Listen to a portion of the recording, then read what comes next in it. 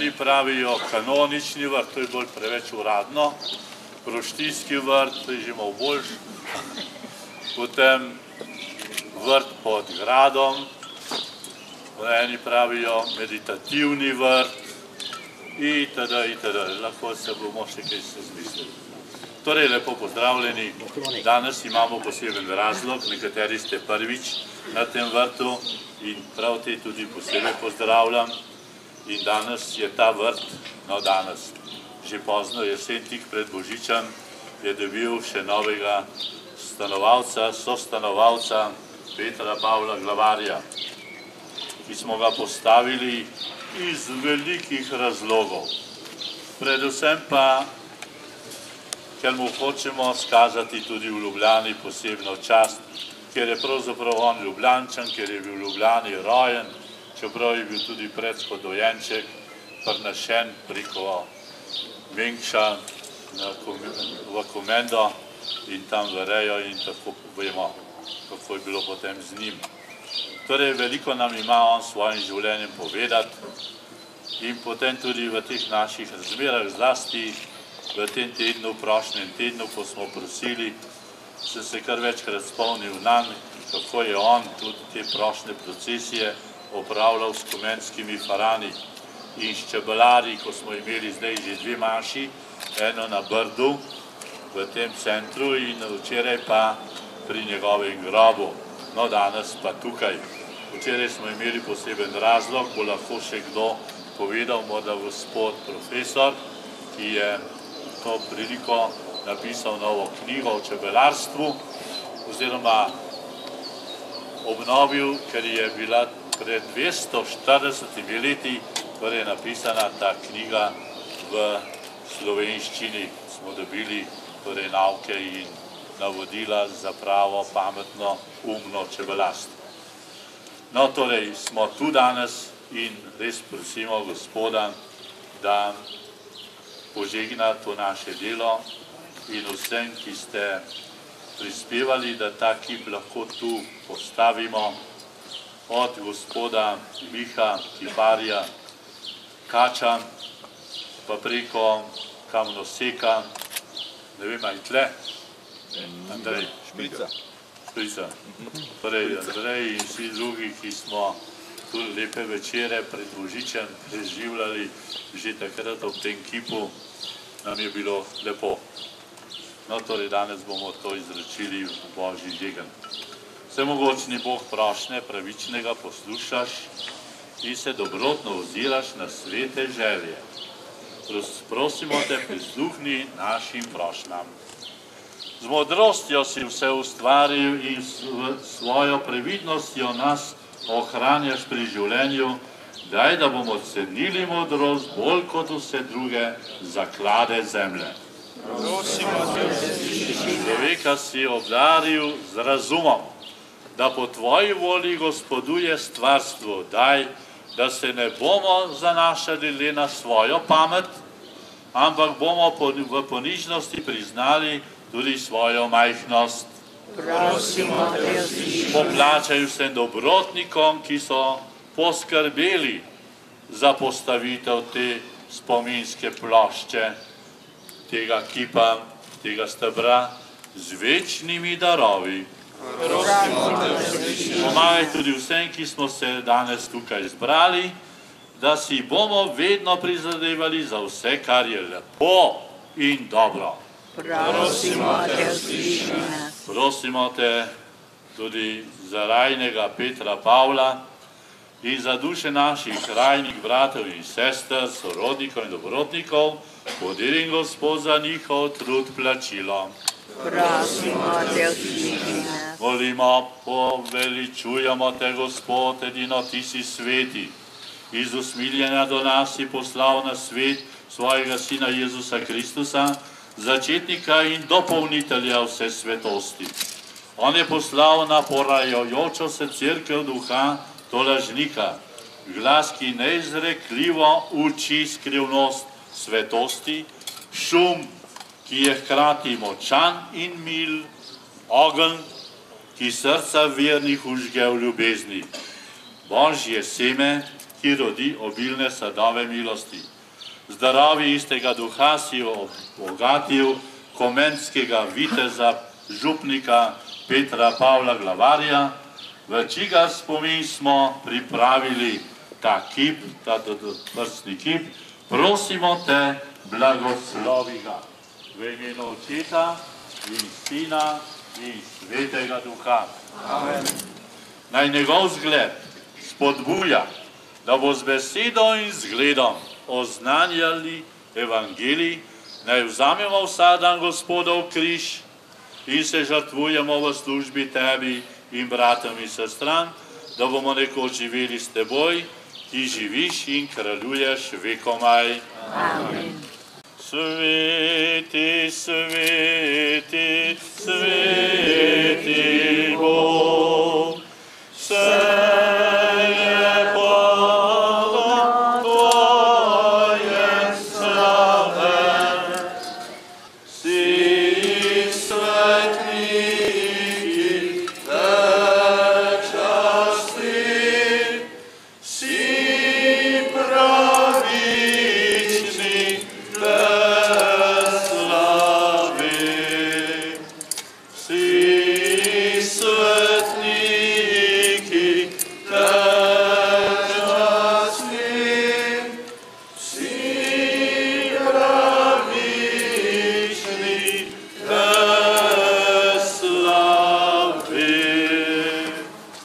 Blagoslov vsemogočnega Boga, Očeta in Sina in Svetega Duha naj pride na vas vse, ki smo se danes tukaj zbrali in na vse vaše, po Kristusu našem Gospodu. Amen. Bog vas živi. Lep pozdrav, gospod moj Ivan.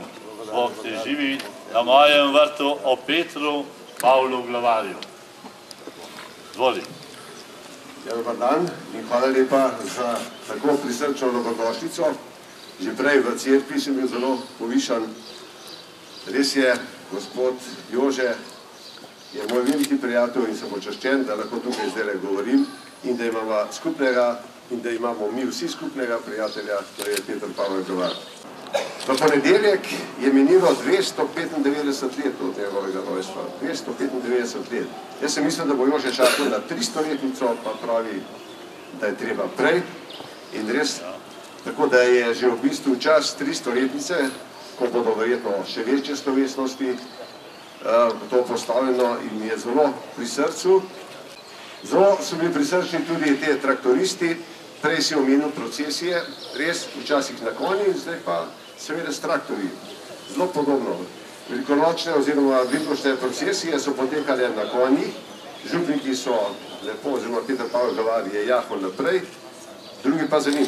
Mene je vedno zanimalo, kaj je človek naredil in kaj je dal svojemu narodu. Kot veste, jaz vedno izhajam seveda kot pisatelj, kot veste, je o Petru Pavlu Gavarju že bila napisana knjiga Odise iz Komende, Ivan Prehar je to napisal, vendar samo do tam, ko je Petr Pavel Gavar prišel do duhovniškega poklica. Navadno pa duhovnik, ko pride med ljudstvo, šele polno zaživi, prej so študije, kar zahtevne študije, ampak ko pa pride med ljudi, pa zaživi in če zna tako krasno zaživeti z ljudmi, kot je Petr Pavel Gavar, potem je čudovito. Mislim, da eno temek je tudi naš Jože tak, da je v bistvu nadaljuje to njegovo delo tudi v tem smislu. Peter Pavel Glavar je poznaje seveda v komenti takoj se predal ljudem. Znane so že njegove znamenite pridige. Zelo podobno je pridigal kot pa naš Jože. Konkretno, direktno povedal je tisto, kar je treba. Te pridige so ohranjene in tudi v bistvu z literarne strani zelo, zelo dragocene. V komendi, kadar pridete komenčano, to ni treba praviti in okoličavam, ampak recimo za mene zelo simbolično sta te dve lipi komenski, ki jih je Peter Pavel Glavar posadil in še vedno svetita. Zato, ko sem jaz pripravil knjigo s pomočjo gospoda Demšarja, dekana Demšarja, ki je v bistvu mi je predal celotno gradivo, strokovno gradivo, ostalo je pa seveda morala narediti moja fantazija, moja domišljija, Sem rekel, se te lipe so pa približno tako, kot smo slovenci. Rastejo naprej, cvetijo, vsako leto na novo zacvetijo in vsako leto jih na novo občudujemo. Imajo mehko cvetje, imajo sorazmerno malo medu, ampak so pa tu. Glavarje lipe še vedno cvetijo in bodo še dolgo cvetele, zato je tudi naslov moje knjige in večno bodo cvetele lipe. Peter Pavel Žavar je se takoj povezal z vsemi domačini, poznaje pa, ko je učel iz komende, seveda tudi takoj z dolenci, lepo in na veliko. In tudi vse tisto znanje, ki ga je v komendi že pridobil, je nekako nadaljeval, predvsem v zvezi s čabinami, predvsem v zvezi s sadjarstvom in pa tudi, kot so rekli, tedaj z vinorejo. Vinoreja je bila zelo pomembna, in uh, na Dolenskem je seveda tudi v tem uspel. Je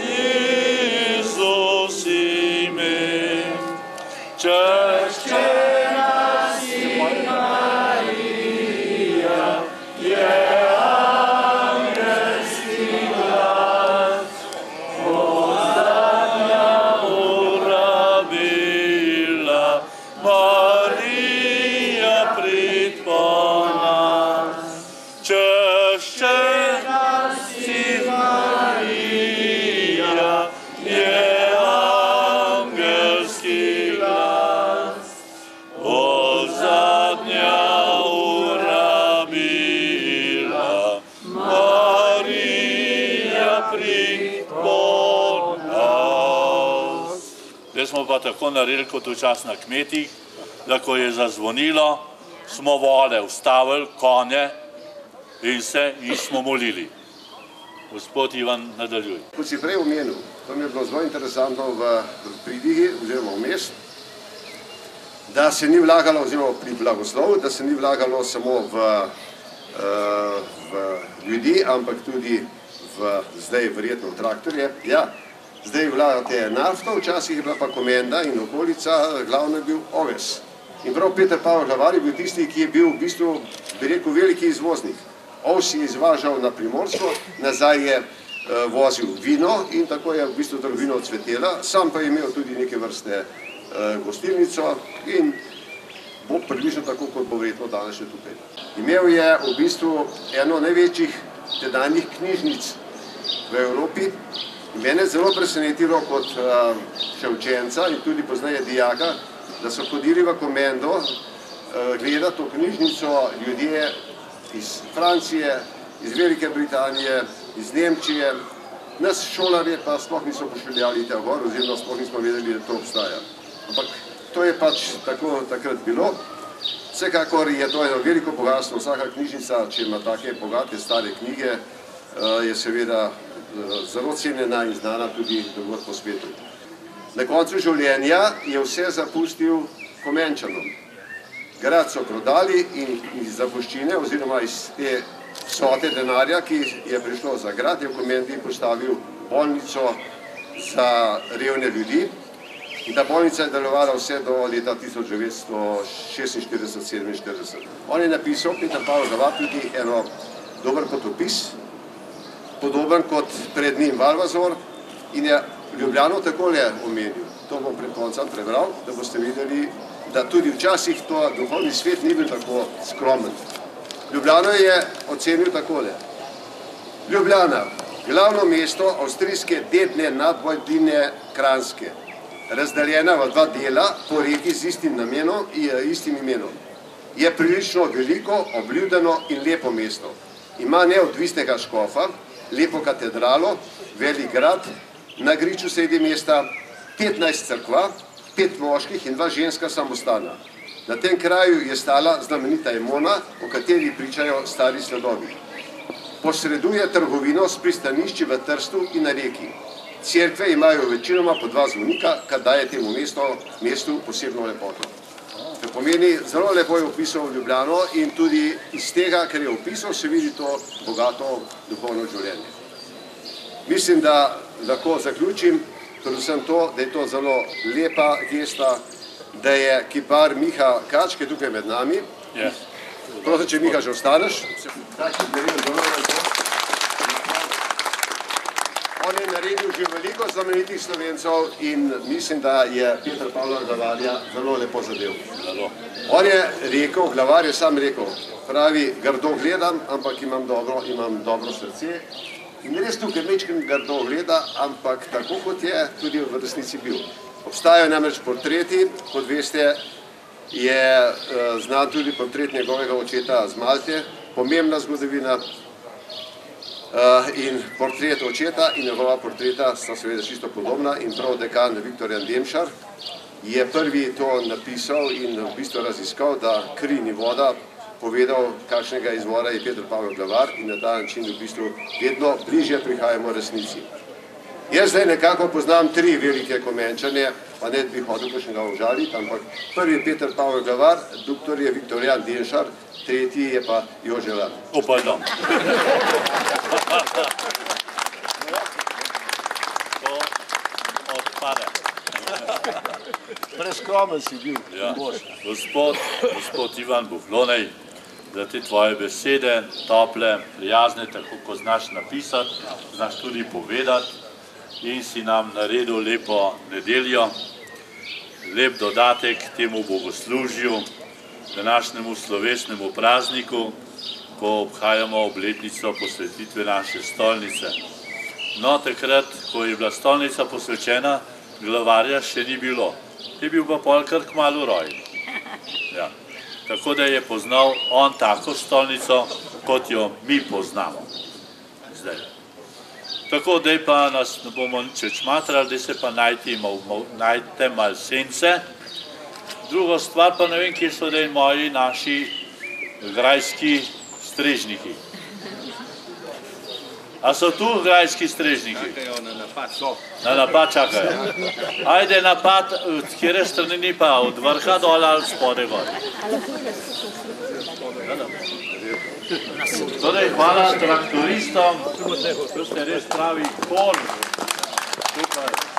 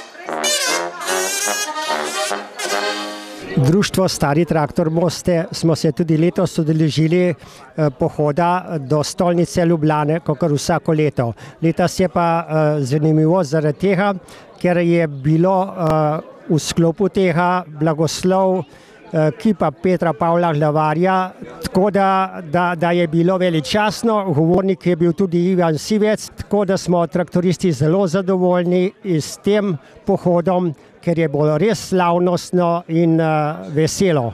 Torej, spoštovani gledalci, z mano je gospod Ivan Sivec, Jaz bi rekel, ne eden najplodnejših, ampak najplodnejši slovenski pisatelj, ki ga poznamo po njegovih knjigah. Jaz sem ga prvič spoznal, ko je išla njegova stota knjiga in je bila proslava v Komendi, če se morda spomnite tega dogodka. No in takrat je obljubil še veliko knjig in te obljube se je krepko držal. Zdaj, ogromno enega študija, ogromno enega znanja, veliko potovanj okoli po vsej verjetnosti. Nam se upate, kako pravzaprav nastane ena vaša knjiga? Ja, res je, kar se tiče plodovitosti, sem najbolj plodovit. To je statistično dokazano, ker sem napisal 135 knjig. Uh, za mano je v bistvu France Belk, ki jih je napisal 124, s tem, da je pisal posebej varianto za Primorsko, posebej pa za centralno Slovenijo, iste zgodbe, nekaj zgodb. Tako da po, teh, po tej plati sem sigurno najbolj, najbolj nekateri me krehajo zaradi tega, pravijo, da sem preveč plodovit, da preveč delam, da sem delaholik, kar tudi v bistvu v nekem smislu sem. V bistvu je pa to, moj oče je bil izredno, izredno priden, on je dal zjutraj v petih motiko na ramo, pa prižvižgal v pol desetih zvečer poleti z polja dobre volje. Je rekel, a ni krasno delati. In oče mi je bil za velik vzor, vse čas, tudi zelo zgovoren je bil, tudi dober spomin je imel, kot da kar po njem imam neke očitno lasnosti. Mama je bila pa tako vesela, je rada plesala, rada pela, tako da tudi po njej moram nekaj imeti. Uh, kar se pa tiče teh zgodovinskih stvari, ne, predvsem zgodovinskih, je treba ogromno, ogromno. Jaz sem ravno, ko sem pisal recimo Petru Pavlu glavarju, ali pa zdaj sem napisal pet knjig o celskih grofih, ne, to je enih sto različnih enot, ki jih dobiš v knjižnicah, v inštitutih, v raznih muzejih eh, in so tudi v knjigah namenoma za to objavljene, da če kdo želi kaj več še zvedeti, potem lahko tisto se nekako poglobi. Jaz vse to preberem, preštudiram, potegnem pa navadno strokovnjakom, eh, znanstvenikom, zgodovinarjem, profesorjem, ki te stvari so napisali in dobro obladujejo in jih potem posnamem. Eh, tisto prepišem in počasi se recimo naredi potem ena taka celovita podoba. Kar se tiče Petra Pavla Hlavarja, je bil seveda prvi in glavni in edini, da tako rečem, eh, Viktorjan Demšar, komenski dekan, ki mi je predal celotno gradivo. Zelo nesebično moram reči, čudovito sva sodelovala. Eh, on me je pravzaprav nagovoril k temu, da sem sploh to napisal. On je te stvari veliko že objavljal v raznih strokovnih časopisih, v zgodovinskem časopisu, v Mohorem koledarju in v različnih drugih revijah, vendar ni bilo nikjer to še zbrano. Jaz sem pa želel nekako o glavarju povedati ljudem na ta način, da bi eh, tudi preprosti ljudje to razumeli in če hočeš, da razumejo preprosti ljudje, treba to ukomponirati eno zgodbo. Zgodbo, kjer nekako ljudje potem berijo zgodbo, ne? Kako je bilo z njima, sta se poročila, sta se ločila, sta imela deset otrok ali samo enega in tako naprej. Ljudje bolj te življenjske stvari zanimajo, ampak po ozadju je pa zgodovinski okvir. Predvsem pa mislim, da nosijo vaše knjige tudi sporočilo človečnosti, sporočilo ljubezni človeka do človeka, spoštovanje, to, kar ste vi doma podedovali, kot pravite. In uh, menim, da so take knjige ne samo potrebne, ampak še vedno nujno potrebne, pa tako da upam, da ne boste potem uh, opustili pisanja da se boste še potrudili za slovenske bralce, ki vas izredno radi ljubijo, ker naklade, kolikor vem, so visoke. No, za slovensko knjigo visoke in za naš knjižni trg, ki je nekako obobožen, ne? vemo, kam smo prišli z našimi knjigami in scenami. E, tako da jaz bi samo še nekaj. Kaj imate po celskih grofih? Imate že kako idejo za naprej? Jaz imam eno mapo, v tisti mapi je vedno veliko eh, različnih motivov, ni da ne vem, kam me potegne. Kar se tiče zgodovine, so seveda je veliko biografskih romanov o znanih pesnikih, pisateljih, eh, nasploh zgodovinskih osebnostih, poleg tega pa dve večji stvari, eno je o Karantani, to je trilogija, potem je kvatrologija ali tetralogija o Rimljanih na naših tleh in zdaj o Celjanih so trenutno tri šle, napisano je po vseh pet, ne. pet jih bo, pet knjig, pentalogija. Uh, seveda me bo kaj še naprej kaj zaneslo, čeprav uh, moram večkrat zaviram, nisem več rosno mlad in moram večkrat paziti tudi na svoje zdravje, na, na svoje življenje. vedno nekako tudi kombiniran z mladinskimi temami. Jaz v bistvu pišem 11 različnih žanrov, to so me naučili v kreativni šoli pisanja, drugače se piše pravljica, drugače se ne piše zgodovinski roman, drugače se ne piše, kaj vem, ena povest. Tako da vsaj dve, tri take zgodovinske romane imam v, v planu, ampak ne vem, kam me bo zaneslo. Verjetno bom napisal še kakšen grajski roman. Vidim, da me ta srednji vek, pa tole me, me zelo nekako vznemirja. Pa tudi so razmerno malo je tega napisanega. To pa zaradi tega, ker skoraj vsi slovenski pisatelji, kot ste prej dobro ugotovili, v bistvu so odvisni malo od trga, so odvisni od bralcev. Knjiga je so razmerno naporen medij, ga je treba prebrati, ne se vsesti pred televizor, pa samo uživati. Ampak hkrati pa človeku tudi spodbujajo domišljijo, ohranjanje njegove možganske celice. Zato je za starejše ljudi zelo, zelo dobro, da berejo in pa za mlajše ljudi, da berejo, ker mladi se gradijo, se na ta način uh, razvijajo, starejši pa ohranjajo. Starejši pa ne pozabljamo, ne?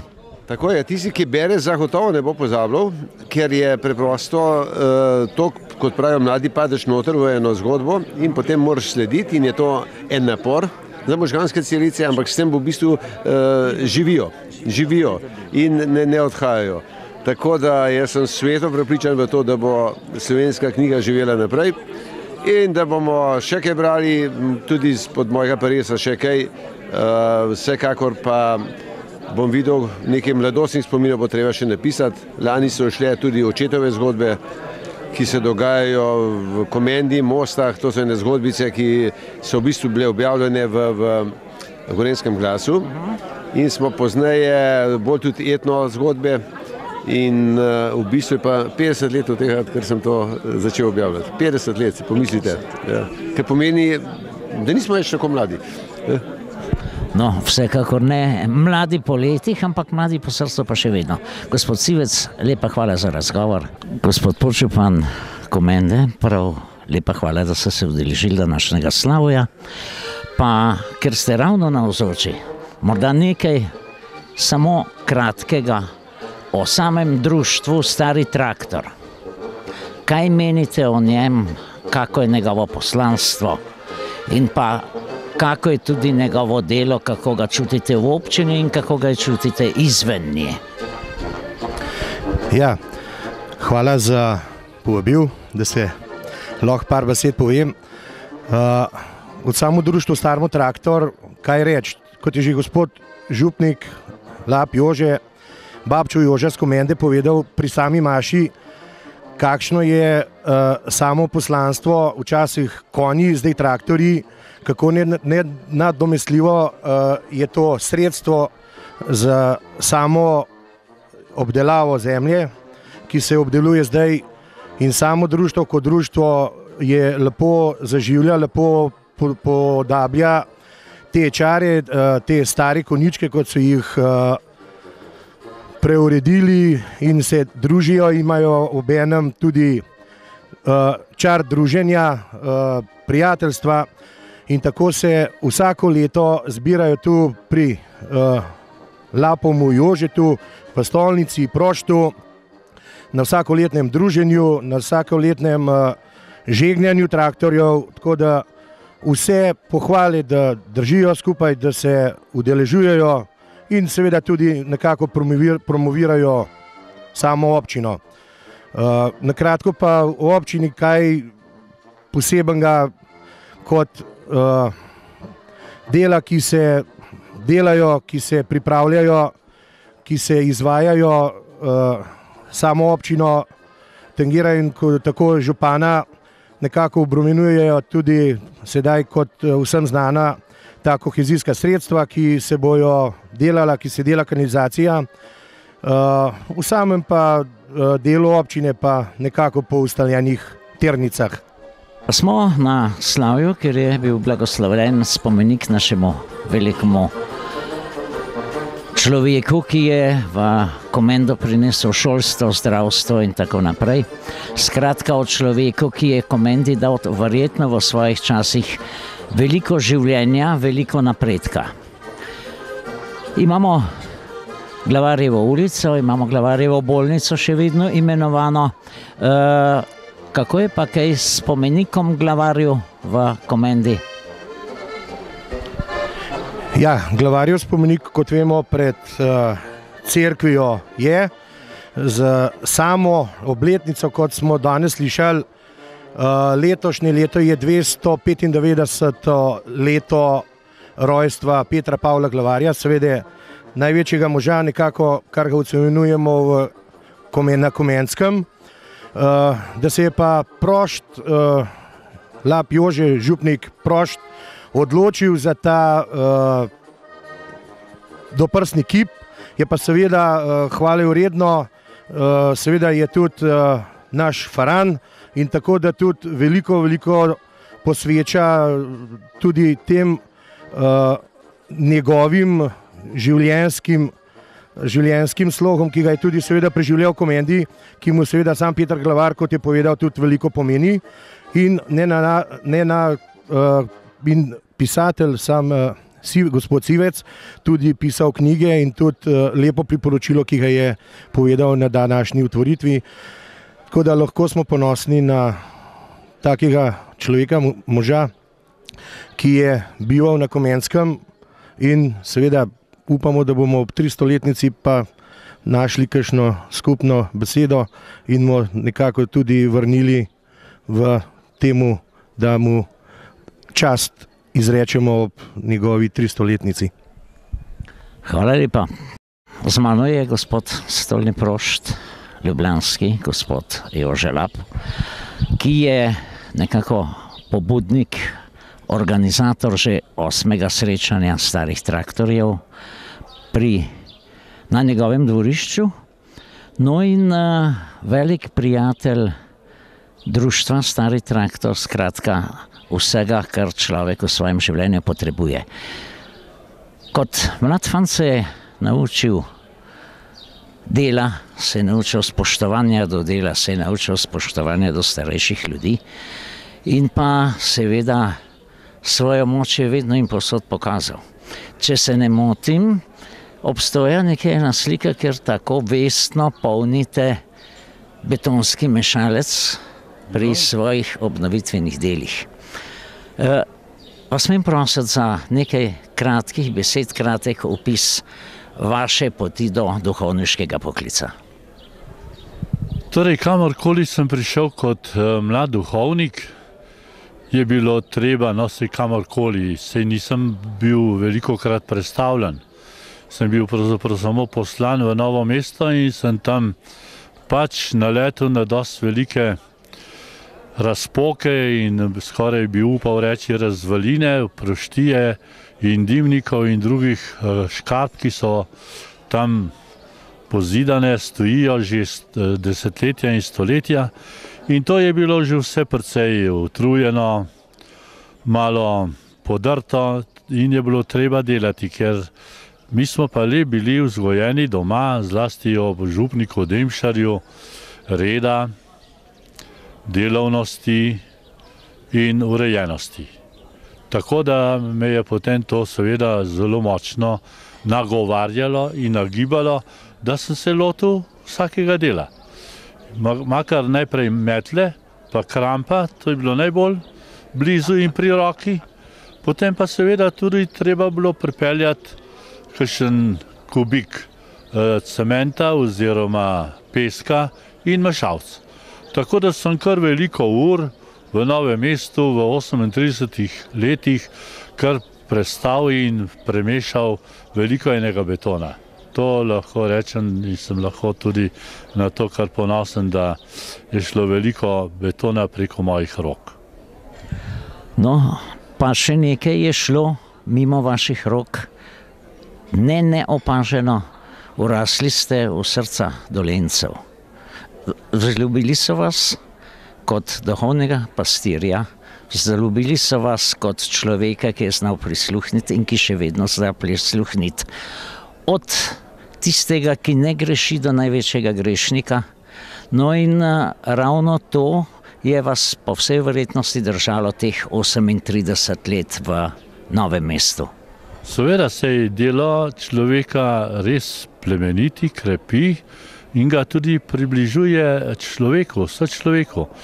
ker pri nas, kot velika številna družina, smo se res naučili te komunikacije, te povezanosti med seboj in zato to ni bil nikoli problem.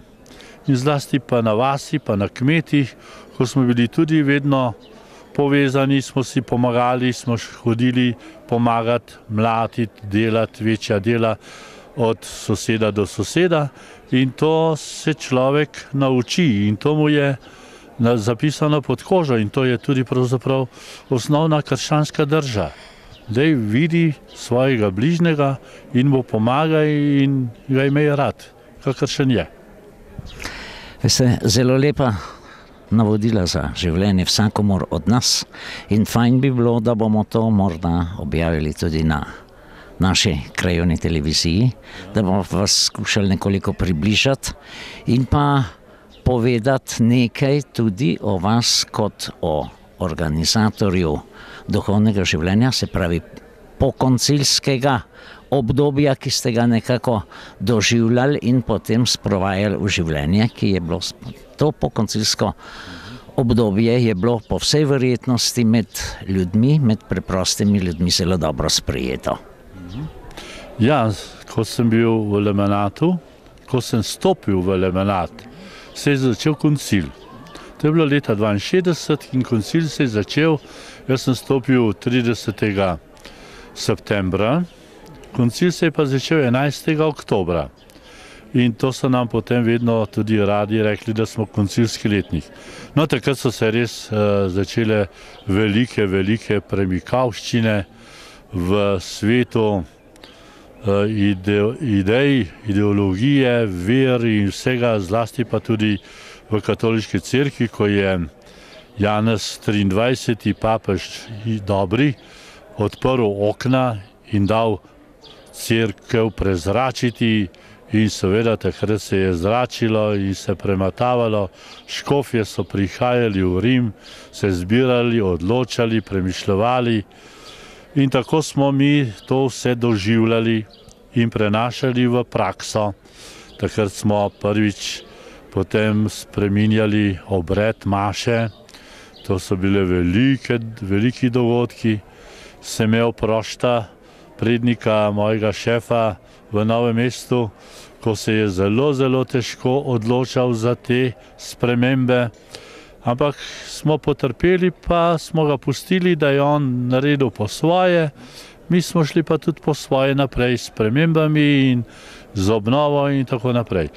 Ker smo bili tudi toliko skozi trezni, da ne bomo s temi liturgičnimi spremembami čeprav se je crkva potrudila, da je najprej izdala uh, torej dokument o bogoslužju, ko torej to, to uh, kongregacijo oziroma to, ta dokument, da bi ne vem kako spremenili svet.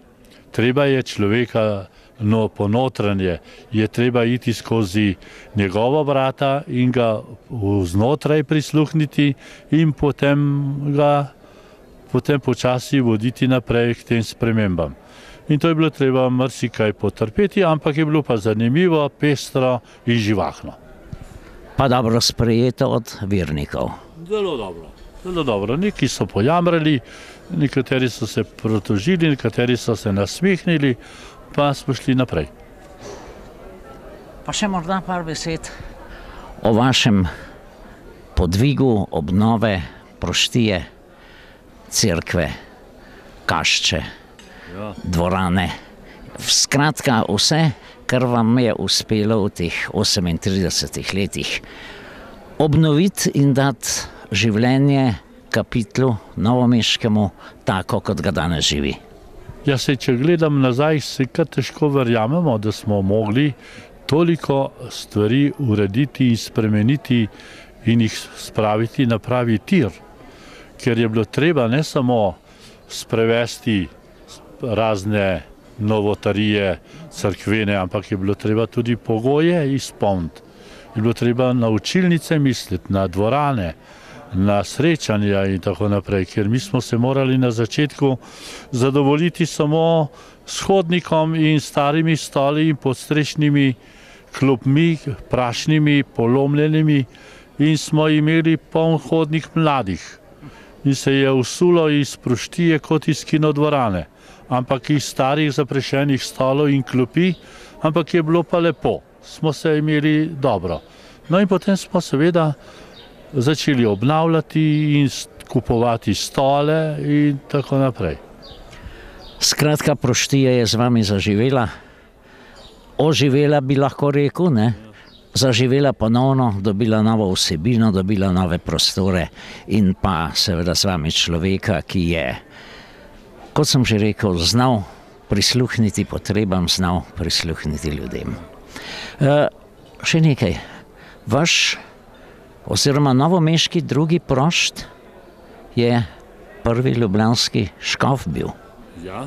O njem velja, da je tudi med ustanovitelji oziroma ustanovitelji Dunajskih dečkov.